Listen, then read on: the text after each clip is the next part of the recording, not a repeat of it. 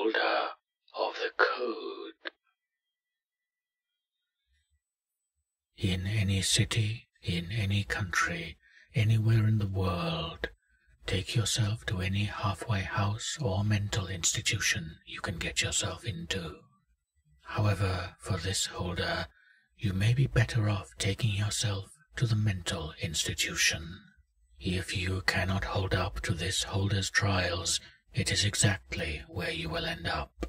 Once you reach the front desk, look and see if the receptionist is typing on a computer. If not, you may leave and safely live out the remainder of your days. If, however, the receptionist is typing something, ask to see someone who calls themselves the holder of the code. The receptionist will type faster and faster until finally their fingers snap from the relentless typing and they will pass out. Once the person behind the desk is out cold, walk around to the computer and look at the screen. Despite their frantic typing, you will only notice a three-digit number on the screen and a key underneath the keyboard.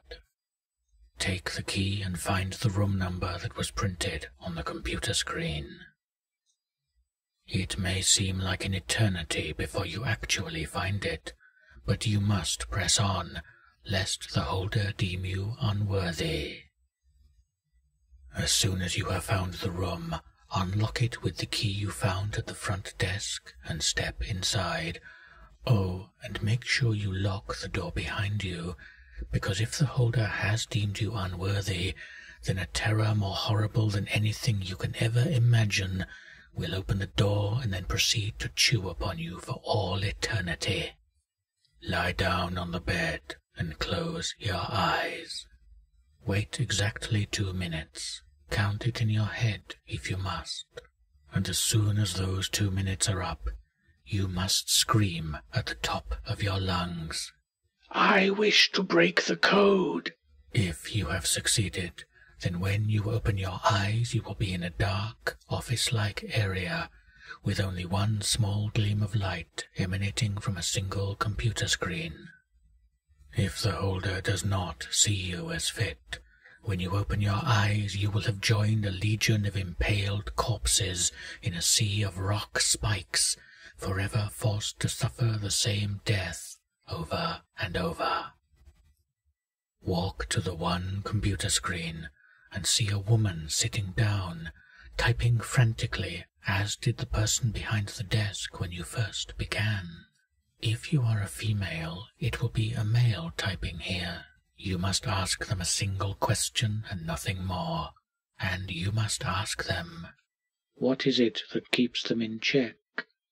The person will stop typing and stand, a bright light will shine down upon them, revealing the most beautiful man or woman you have ever seen.